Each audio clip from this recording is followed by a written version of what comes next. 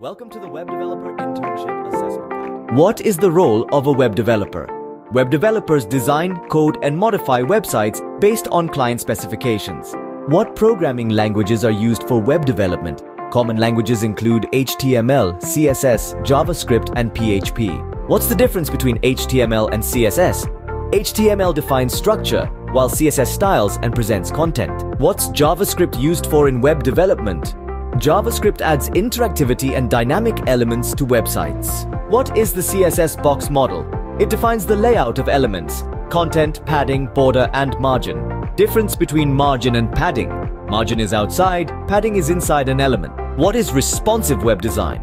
It ensures websites work well on different devices and screen sizes. Purpose of media queries in CSS? They apply styles based on the device's characteristics. Class versus ID in CSS. Class is reusable. ID is unique to an element. Purpose of a doc type in HTML. It specifies the HTML version for proper interpretation. Difference between HTTP and HTTPS. HTTPS encrypts data for secure communication. What are cookies in web development? Small data pieces for user preferences and tracking. Congratulations, you've covered key concepts in web development.